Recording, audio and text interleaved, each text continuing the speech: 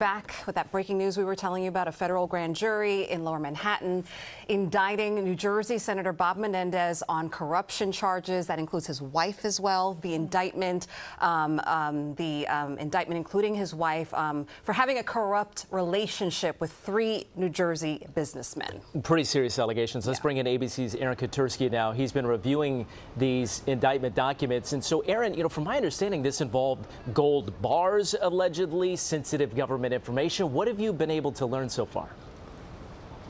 There's a stunning breadth of alleged conduct here that federal prosecutors in New York have charged uh, Bob Menendez with, the, the, powerful chairman of the Foreign Relations Committee, Mike. And, and, and effectively, he had, according to prosecutors, this corrupt relationship with three different New Jersey businessmen and took steps under the power of his office as a United States Senator uh, in exchange for, for bribes that took the form of, of gold bars, a no-show job, a Mercedes. There's even a picture in the indictment of a Senate jacket with Menendez's name on it that's stuffed with cash, almost comical, some of the conduct that's alleged here. But uh, it is quite serious, and Menendez and the other defendants are expected to appear here in federal court next week.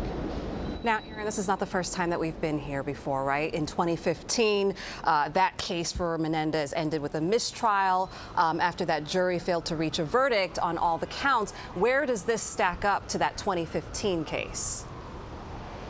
You know, it, it's very similar conduct, but of course wholly separate. They're involved doing favors for a friend, an eye doctor in Florida, who was convicted and then later had a sentence commuted by then President Trump. Uh, in this particular case, Menendez is alleged to have taken a series of actions on behalf of three different businessmen.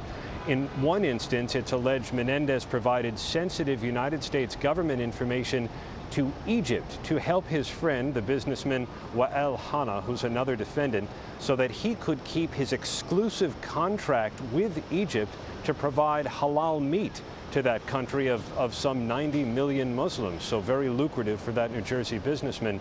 It's also alleged that Menendez tried to intervene in a criminal investigation by the New Jersey Attorney General on behalf of another businessman friend, and it said that he recommended to President Biden a candidate to be the top federal prosecutor in New Jersey that Menendez thought he could control uh, in, as it related to an investigation that office was undertaking into a third businessman who ended up pleading guilty.